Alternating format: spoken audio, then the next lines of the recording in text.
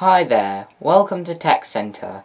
This is Joshua and I'm going to introduce you to use the 3D Objects tool in Paint 3D. If you want to watch a full tutorial on Paint 3D, I've put a link in the description box below so you can watch the video. Before we jump into the video, please subscribe and click the notification bell to receive future videos from my channel. If you haven't already watched my previous video, which was about using the first 5 3D objects, I've put a link in the description box below so you can watch the video. Now I'm going to show you how to use 3D objects in Paint 3D. I'm going to open Paint 3D from the Windows Programs list. Click Start, and then on Paint 3D. Now that Paint 3D is open, I'm going to open a new blank canvas by clicking on New. Here you can see the blank canvas. I'm going to click on the 3D Shapes tool. In the sidebar here, you can see the 3D objects. In this video, I'm going to be introducing you to the last five 3D objects, which is the bottom row. I'm going to start off with the cylinder. So I'm going to click on it. And I'm going to left click and drag on the canvas to draw it. You can see that I can resize it if I left click and drag on this canvas. If I let go of left click, the shape will be in position. I'm going to let go of left click. You can see that the shape is in position. So if I left click and drag on the shape, you can see that I can move it across the canvas. You can see four handles around it and grip points around its selection. I'm going to resize it with its grip points.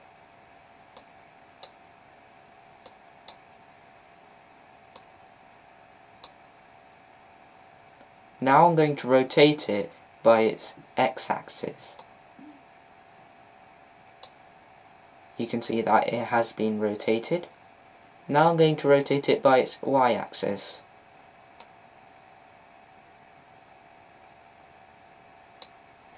Now I'm going to rotate it by its z-axis. The last handle is the depth strider. It is for moving it back and forth through the canvas to decide where you want to put it. So it's called the Z-axis position. Left click and drag. You can see how far you want it through the canvas and how far you want it out of the canvas. So if I want it all behind the canvas, have to drag it back and you can only see the outline. That is because it is behind the canvas. If I deselected it, like this, by clicking outside of the selection, you can see that there is no more shape. But if I go to the global toolbar and I click on 3D view and I right click and drag, you can see that the shape is behind the canvas. So I'm going to click on the select tool and I'm going to select the shape. I'm going to zoom out and I'm going to use the z-axis position handle. I'm going to left click and drag so this time it only lets me bring it up and down so I'm going to bring it up so it's above the canvas. Now I'm going to turn off 3D view by clicking on 3D view again. Now if I zoom out and I left click and drag I can use the z-axis position handle again to bring it forwards. Left click and drag. Now it's in front of the canvas and I can left click and drag to bring it down. Now if I zoom in again you can see the shape is here. You can also edit its colour with edit colour. Whenever you select a shape which is 3D the sidebar will change to these options. I'm going to click on edit color. I'm going to change its color to orange and I'm going to move it over here. I'm going to deselect it by clicking outside the selection box.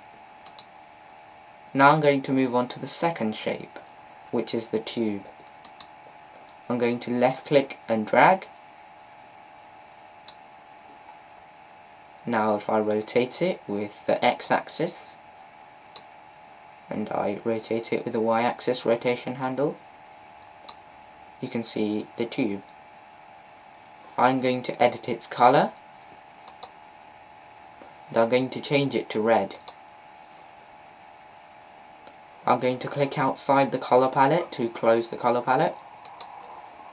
You can see that the shape is now deselected, so I'm going to click on the select tool and I'm going to reselect it.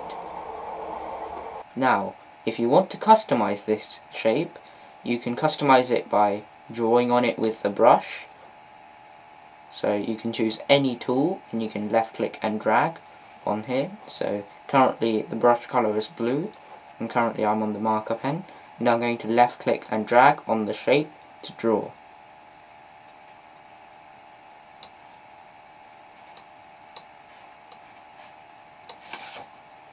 And when you are drawing on a 3D shape, there will be another handle popping up called free rotation handle. So you don't have to escape the command, then just left click and drag on the free rotation handle and you can rotate it however you like and you can draw on the other side.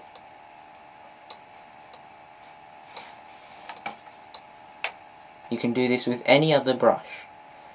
I'm going to demonstrate the eraser to you as well. It's the same, if I left click and drag, it will erase what I have drawn. Now if I move on to the third shape, I'm going to go to 3D Shapes tool, and I'm going to click on the capsule. Left click and drag, This time, I'm going to rotate it with its z-axis rotation handle. I'm going to rotate it so it's like this, and I'm going to rotate it so it's like this. Okay, now I'm going to bring half of it behind the canvas by left clicking and dragging on the z-axis position handle. Now if I let go of left click, you'll see that half the shape is behind the canvas. If I deselect the shape by clicking outside the selection box. You can see that half the shape is missing. I can also customize the shape with stickers and lighting effects. I'm going to start off with stickers. In stickers, there are three tabs. Stickers, textures, and personal stickers. I'm going to start off with stickers. First of all, I'm going to an eyeball on this capsule. I'm going to left click and drag. Here you can see the eye. Now if I stamp it, it will stay there. If I want to, I can rotate it with the z-axis rotation handle. I'm just going to stamp it to show you what stamp does. If I left click and drag the sticker away, you can see that it has been stuck on but I still have a copy of it here. So if I want it on this shape here, which is the cylinder, I can rotate the shape as well when stickers are on it. You can do this with any 3D object. Here's the tube. You can see that it's inside the tube. I'm going to commit it inside the tube. You can also do this with textures and the rest of the stickers. It's the same with custom stickers as well. I'm going to do the bushes texture or the hedge texture. I'm going to do it on this cylinder. I'm going to make it as big as I can. Then I'm going to left click and drag it on top of the cylinder. And I'm going to stamp it. And I'm going to rotate it with free rotation handle. If I move it out the way, you can see that a lot of it has not been filled. So I'm going to move this on top, use the free rotation handle, and try to stamp it. And if I rotate it with the free rotation handle, that's good. So I'm going to commit it. And I'm going to click on the shape. I'm going to use the rotation to show you how much I've filled. I'm going to deselect the shape by clicking outside of the selection box You can do the same with the rest of the textures. I'm going to move on to lighting effects. In this video I'm going to show you how lighting effects works. There are certain types of lighting effects. These are set ones. I'm just going to move to the day for Minecraft, so that's one of the themes. I'm just going to click on that. Then I'm going to show you the lighting effects and how they change with the light wheel. So if I change it by left clicking and dragging on this sun symbol, you can see that there is not much change, but if you notice carefully, there is a subtle change in the shadows. So I'm just going to keep it like this, then I'm going to move on to 2D shapes. 2D shapes act like stickers when put onto 3D shapes.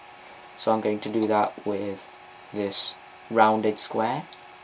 I'm going to put it on here. I'm going to make its fill color green. And I'm going to make its line type indigo.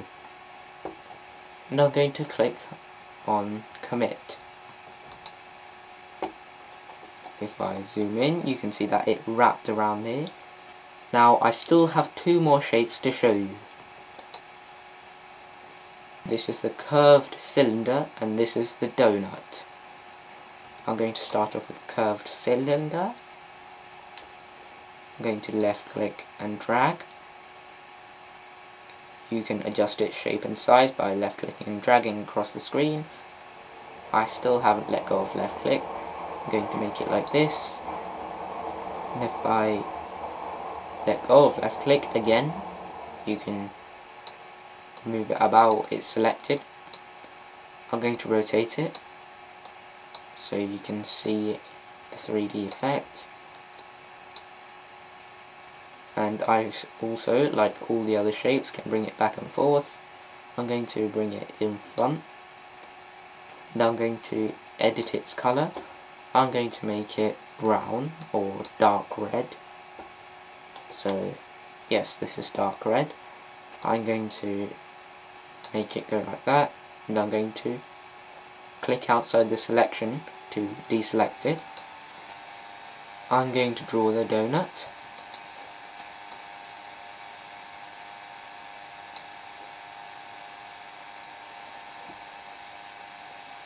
So here's the donut.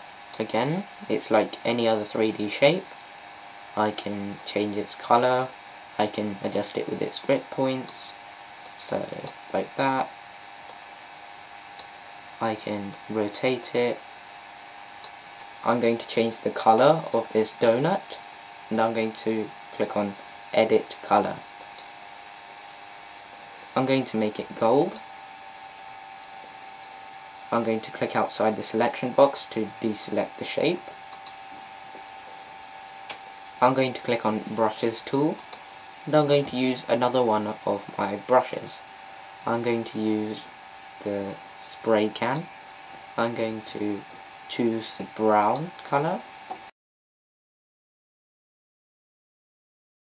You can see that it's only painting it lightly so it's only coming slowly if you want to 3D print it, go to menu and go to print. There will be two options, 2D print and 3D print. If you want to 3D print, click on 3D print and this will take you to the setup to 3D print it. I'm going to click on back and I'm going to zoom out. Now that I've added a brown tint to it, it looks like icing. I might change that to pink. Maybe slightly around here if I left click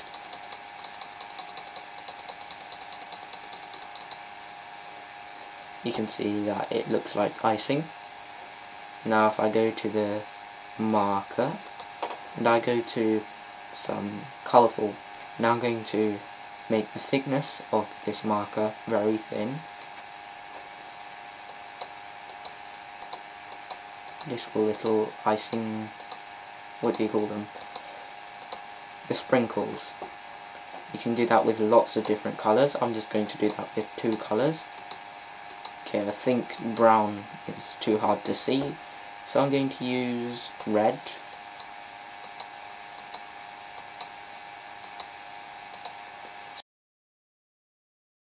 Now that I've finished with the last five 3D objects, I'm going to save this file.